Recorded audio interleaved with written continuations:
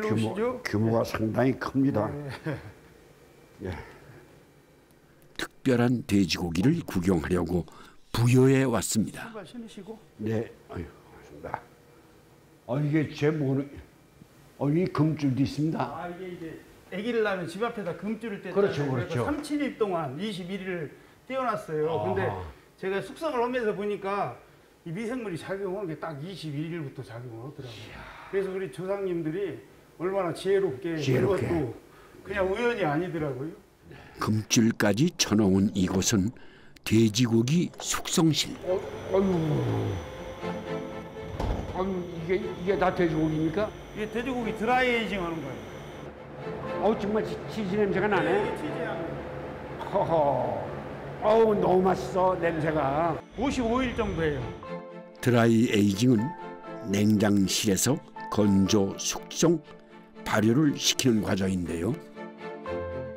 이게 지금 바람하고 온도하고 습도를 다 맞춰줘야 부패하지 않고 숙성 발효가 이루어집니다.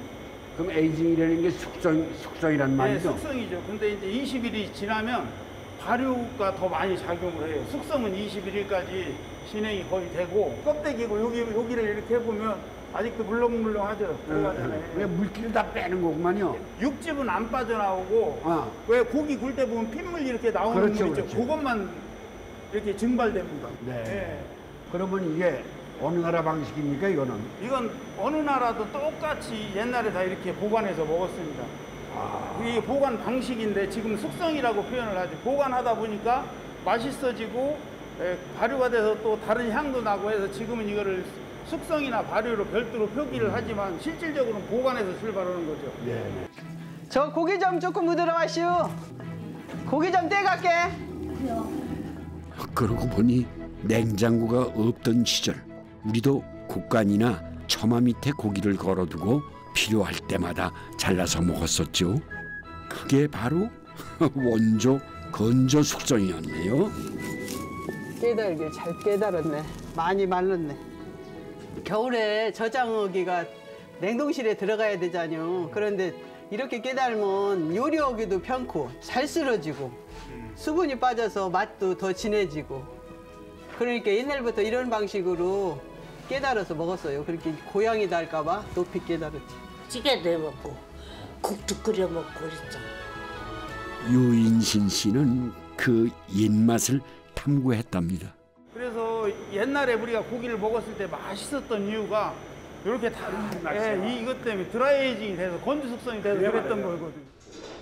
그렇게 2009년부터 독학으로 건조 숙성을 터득했다는데요. 최적의 조건을 만들기 위해 눈물 어린 실패도 여러 번 맛봤답니다. 요, 요 이제 이런 곰팡이들 있잖아요. 그래서 얘가 이제 치즈 균주거든요. 그래서 치즈 향이 굉장히 많이 납니다. 시대가 변하면서 발골과 정형 방법도 많이 달라지고 있답니다. 봄마우크.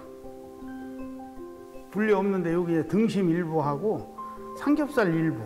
고기가 우리가 그동안 일반적으로 삼겹살 구워 먹고 소고기도 이제 구이용으로 많이 이렇게 계속 먹었는데 새로운 세대들이 새로운 요구를 하기 시작했어요. 그래서 이제 두껍게 먹는 스테이크를 찾기 시작해서 창조적인 것들이 나오기 시작을 했어요. 음. 이게 부채살인데요. 이게 부채뼈거든요, 얘가. 예, 부채뼈에서 붙어있던 살이라 부채살이라고 하는 겁니다. 예. 사실은 얘가 삼겹살보다 훨씬 더 개인적으로 더 맛있거든요. 기름 맛이 아니고 고기 맛이기 때문에 얘를 스테이크로 하면 기가 막히게 맛있습니다. 쫄깃하면서 부드럽고 고기 씹는 식감도 있고 맛도 있고 그렇습니다. 예. 요즘은 여러 부위의 돼지고기를 다양하게 맛보는 것도 유행이라지요. 곰마우크, 오돌뼈 삼겹살, 부채살, 앞다리살. 다른 거 일반 고기에 이 정도 하면 이제 막 핏물도 나고 그런데 안 나오잖아요. 이 굽기는 가장 그 원시적 방법이라고 봐야죠.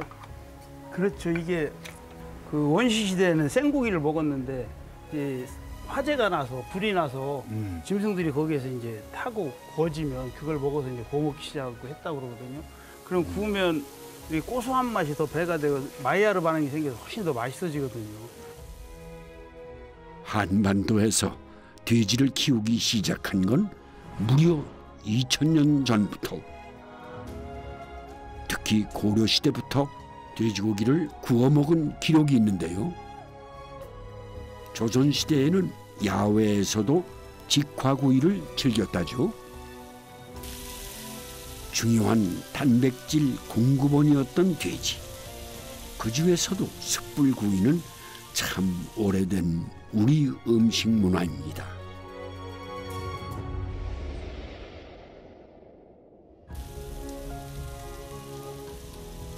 자, 그새 고기가 잘 익었습니다. 맛 한번 보실까요? 네, 이게 이제 앞다리살이거든요. 자, 요거 한번 드셔보세요. 드시.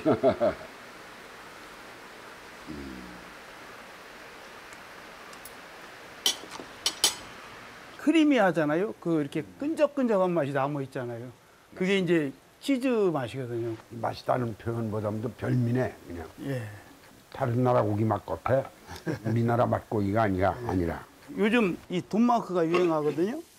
요즘 유행한다는 도끼 모양의 뼈등심. 쪽에 붙어가지고 예. 더 맛있게 생겼네 가운데 쪽으로 딱 한번 드려볼게요. 이게 이제 돈마크는 갈비살도 붙어 있고 등심살도 붙어 있고 삼겹살도 붙어 있고 그래가지고 가운데를 제가 자른 이유가 세 가지 맛이 같이 나는 자리라 아니 간 돼지고기 이때까지 먹어본 중에 옛 맛인지는 몰라도 다른 맛이야 다른 맛 그렇죠. 이게 원래 이런 맛 비슷하게 옛날에 나서 겨울에 예? 저기를 하면 야, 이거 우리 선조들이 이렇게 고기를 맛있게 해 먹었단 말인가. 예, 예, 예. 우리 장모님이 충청도 분이셔. 그래서 고추장찌개 예. 이걸 이렇게 듬뿍듬뿍 해서 만들어 주시는데 그 맛을 지금 찾는 거거든요. 예, 옛날에 묵은 김치 별로 없었잖아요. 그래서 대부분 고추장찌개 많이 해 먹었어요. 그렇죠. 예, 그때 뭉텅뭉텅 쓸어 넣던 거거든요. 김장김치가 떨어질 때쯤 유인신 씨 집에서도 자주 해먹었던 찌개입니다. 생강, 생강이 생강. 생강 분말, 고추장, 돼지고기 두부찌개. 아들이 좋아해. 엄마가 해주는 건 다 좋아해. 이, 이, 이 국물에 국물을 떠먹으면 그 향이 싹 같이 올라와. 그리고 아, 이 지방이 성분이 다 바뀌어갖고 이 위에 떠 있는 기름이 맛이 기가 막혀요. 침 넘어가잖아요, 이게. 고추장 양념을 넣고 한 소끔 끓인 다음에 두부까지 넣어주면 밥 두 공기도 뚝딱이었습니다. 요즘 사람들은 다 매운 거 좋아해. 어유, 시대가. 아 이걸 해달라면 해주지 뭘 여기까지 못 온다고 안 하시고 이제. 참, 완전 없어. 생각도 안 난 걸. 그거, 이거 주라고. 엄마의 손맛이 그리울 때 늘 찾게 되는 한 냄비입니다. 얘는 기름도 좋죠. 이렇게 요리하면 맛도 있죠. 그래서 이런 아- 앞다리살이 소비가 많이 돼, 돼야 되거든요. 그래서 앞으로는 균형 있는 소비가 되도록 이렇게 숙성하고 여러 가지 메뉴를 개발해서 소비자한테 계속 선보이고 싶습니다. 부디 돼지를 사랑하는 사람들의 부단한 노력이 우리 음식 문화를 더 화려하게 꽃피웠으면 좋겠습니다.